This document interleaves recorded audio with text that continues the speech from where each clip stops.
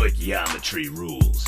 Watch the fools who don't learn about it in the schools. It deals with moles and parts of wholes. Get your calculator or be eaten by trolls. Show the math, reveal the path. When you get it right, then you can laugh.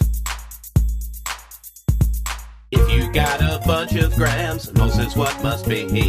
Define what you got by formula mass. Hey, that looks right to me. You got liters of an ideal gas, wanna change it into moles. Divide by 22.4, you can make your goals. If you got atoms or molecules, and moles is the good word. Divide by 6.02 times 10 to the 23rd. Oh yeah.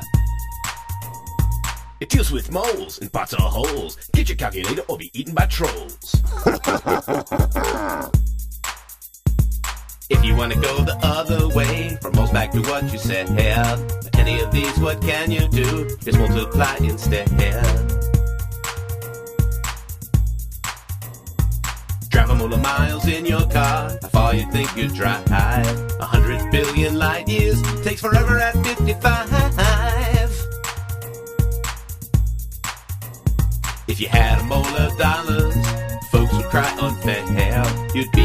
richest person, you'd be a millionaire. Oh yeah. Stoichiometry rules. Watch the fools who don't learn about it in the schools. It deals with moles and parts of wholes. Get your calculator or be eaten by trolls. Show the math, reveal the path. When you get it right, then you can laugh. Ha ha!